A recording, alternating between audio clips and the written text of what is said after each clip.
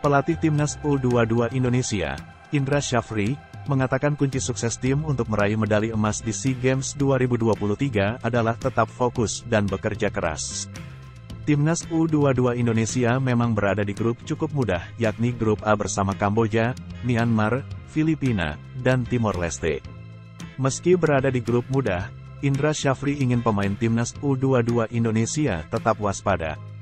Menurut Direktur Teknik, Dirtek, PSSI itu, kekuatan lawan tidak boleh diremehkan.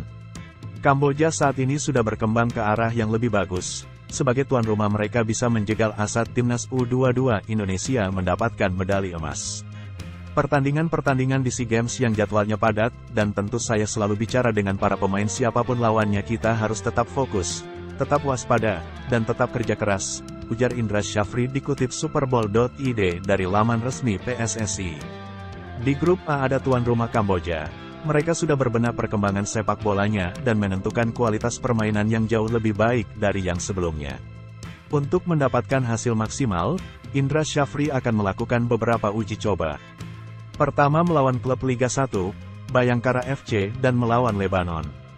Pertandingan melawan Bayangkara FC akan berlangsung pada tanggal 11 April tahun 2023 kemudian dilanjutkan melawan Lebanon yang berlangsung pada 14 dan tanggal 16 April tahun 2023. Selain itu, pada tanggal 18 April Indra Syafri ingin mencari satu lawan lagi sebelum berjuang di SEA Games 2023. Pada SEA Games 2023, Indra Syafri dan Timnas U22 Indonesia diberi beban untuk mendapatkan medali emas. Tugas tersebut cukup berat, pasalnya Thailand dan Vietnam masih menjadi lawan sulit bagi Garuda Muda. Tapi Indra Syafri yakin timnya mampu mengalahkan dua rivalnya tersebut.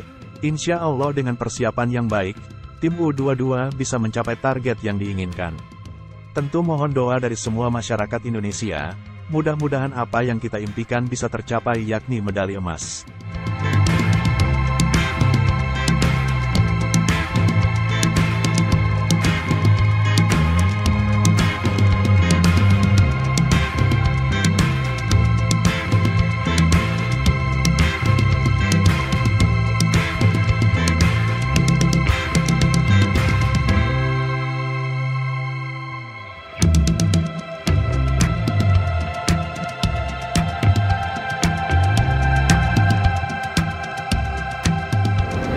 Garuda Nusantara. Garuda Nusantara.